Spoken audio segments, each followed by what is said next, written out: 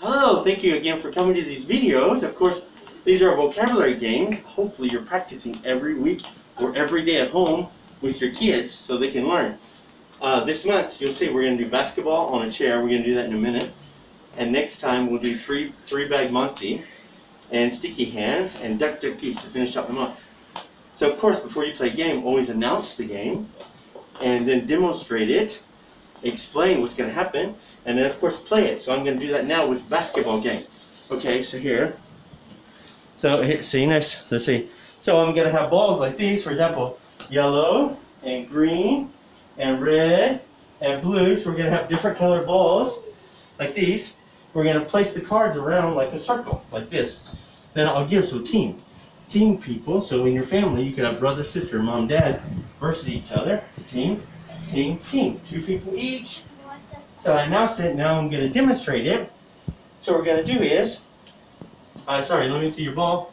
You're going to, when I say go, you're going to run. And somewhere like here, you're going to, on the top of the card, burn. And then you're going to throw like a basketball into the hoop here. The hoop will be in the middle. So of course, if you get it in, then you can get the card and you can put the card under your chair. So if you don't get it in or get it in, either way, then next person, boom, you're going to change the next person, your partner. Okay, so I demonstrated. So now let's play it. Okay, maybe I'll do here. So if you have a ladder in your house, all you need is a ladder and balls for this game. Okay, ready? Okay, three, two, one, go! Cat. Puppy. Okay,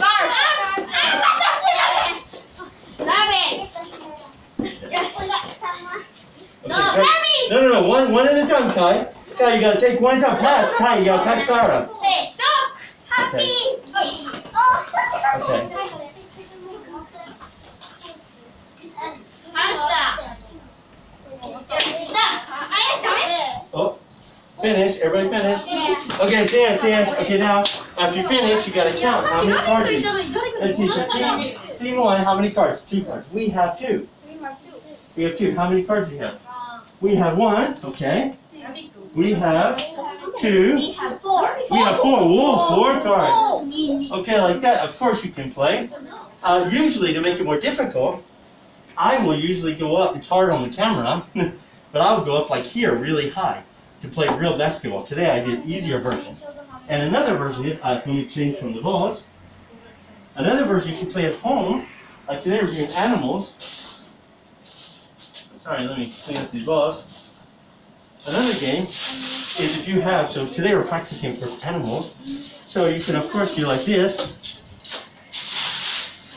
And if you have whatever your vocabulary is, uh, oh no, leave it alone. If you have whatever your vocabulary, you can throw on the floor. And then we'll have the net. Ah, here we go. The laundry net I picked up from the dollar shop. And then they have to throw the animal. Again, same idea. They have to find the animal like fish, and then fish, and then throw it in the net. Okay, ready? Three, two, one, go! Everybody, no teams now, no teams, go!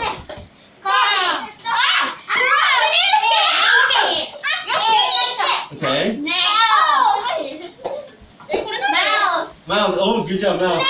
Ah, monkey, that's monkey, isn't it? Snake, snake. Okay.